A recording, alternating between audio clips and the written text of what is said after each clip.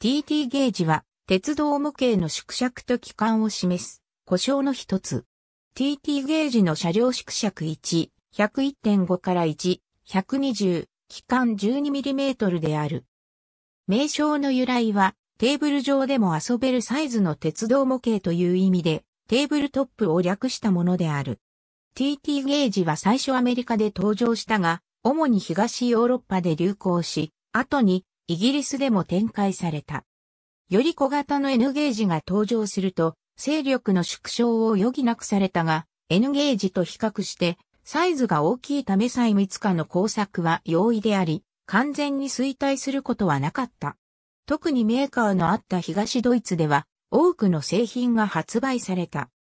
規格は、アメリカやヨーロッパ大陸では1フィートを1、10インチとする縮尺1、120で、この縮尺を指して TT スケールと呼ぶ。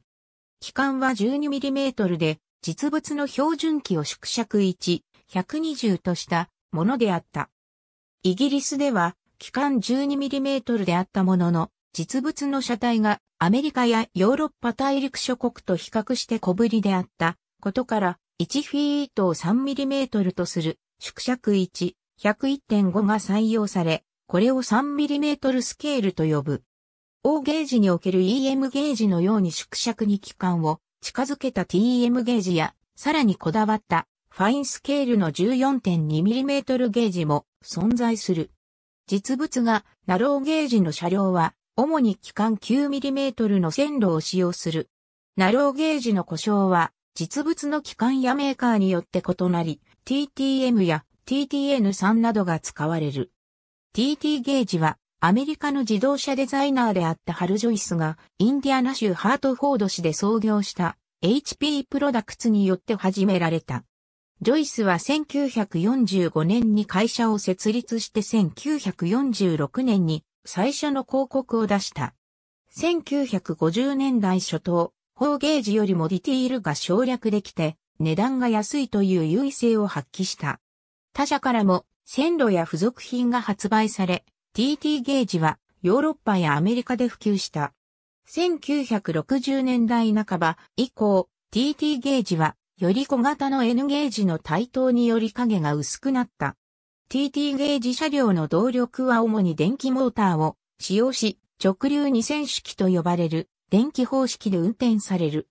デジタルコマンドコントロールの登場で多重制御や運転時の機械音などを車両から発することが容易にできるようになった。日本以外においては、車両から線路、電源装置、アクセサリーまで一手に生産する大手メーカーがある一方、車両やストラクチャー等、単一分野のみ生産する中小メーカーや個人が生産するガレージキットメーカーなどの数多くのメーカーが存在する。大手メーカーからは初心者や入門者向けとして車両、線路、電源装置等をまとめて入れたスタートセットが発売されており、初心者でも簡単に TT ゲージを始められるようになっている。これらの製品は百貨店、量販店、模型店、玩具店、鉄道模型専門店や通信販売で購入することができる。